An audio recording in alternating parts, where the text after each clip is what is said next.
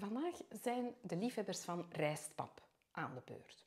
Wanneer je rijstpap op de klassieke manier maakt op je vuur, dat is niet moeilijk, maar je moet daar wel bij blijven. Om de vijf minuutjes moet je toch goed in je pot roeren, want die rijstkorrels zakken naar beneden en die gaan anders aan eh, de bodem van je pot kleven.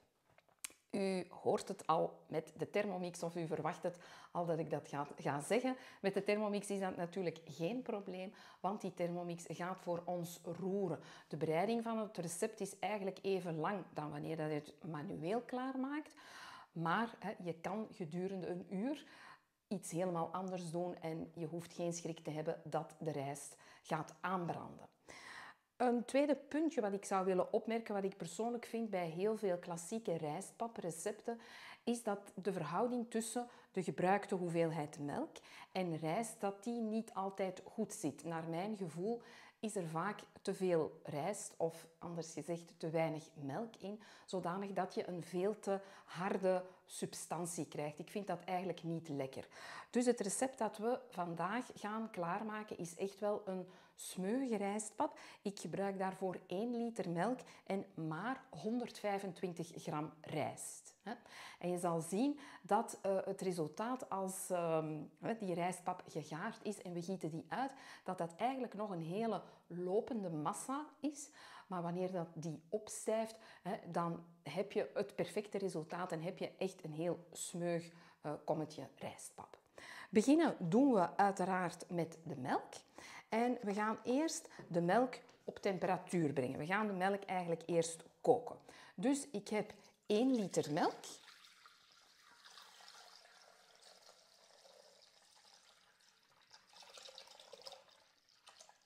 En die gaan we gedurende 8 minuten koken.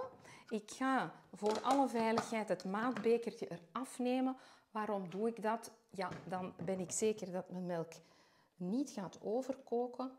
Ik kan ook de temperatuur een beetje lager zetten, maar ik heb dat uh, eigenlijk wel vooraf al allemaal uitgetest. Dus uh, eh, 8 minuten doen we 100 graden en op nummertje 1. En dan gaan er straks gaat de rijst erbij. Dat is geen gewone rijst, maar dessertrijst. Dus gebruik daar geen kookrijst, geen jasmijn of basmati rijst voor, maar echt wel dessertrijst. 125. Dan heb ik hier in dat kleine dopje, dat is safraanpoeder.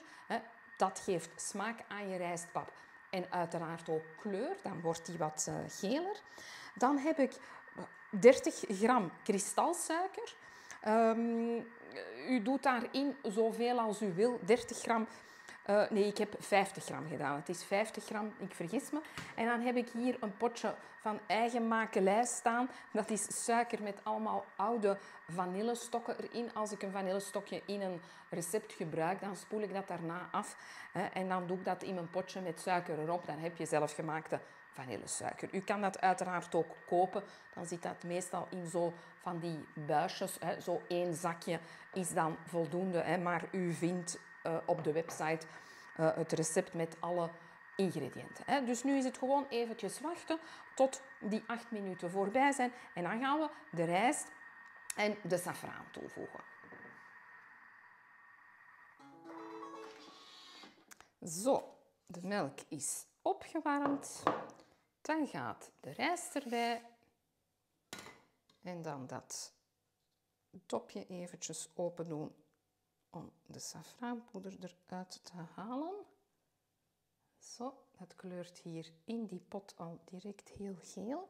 Wat doe ik dan? Dan ga ik altijd nog met een spatel eventjes zo over de bodem.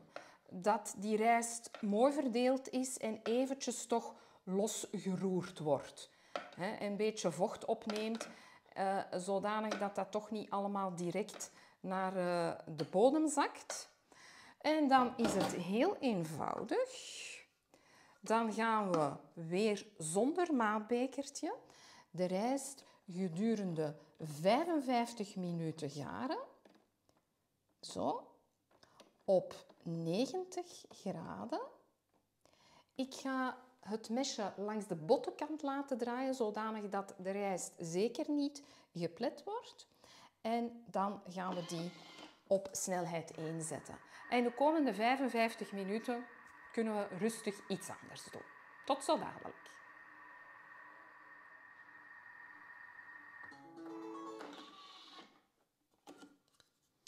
Laatste stapje voegen we de suiker toe, kristalsuiker en een beetje vanillesuiker. En dan gaan we dat nog, oh, dan laat ik dat eigenlijk nog vijf minuutjes verder garen. In totaal is de gaartijd uh, met de rijst erin dan uh, ja, een uurtje geweest. Hè. Zo, en dan nog eventjes links omdraaien. En dan uh, wordt de suiker eronder gemengd en dan is alles klaar. Dan gaan we dat in glaasjes schieten en dan laten afkoelen uiteraard. Zo, de rijst is klaar. En dan gaan we die in glaasjes of in kommetjes schieten. Je kan ook altijd nog eens eventjes hè, in die uh, mengeling spatelen. Maar op zich hoeft dat niet. Zo. Ik ga eerst eventjes bovenaan hebben we voornamelijk melk. Maar dan mag de rest er ook in. Hè. Zo. Ik heb hier een klein velletje. Dat ga ik er eventjes uithalen. Zo.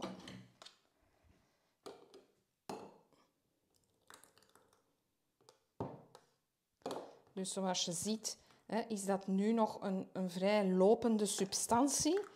Maar als dat, eens dat het afgekoeld is, heeft dat echt de perfecte dikte, vind ik persoonlijk, van rijstpap.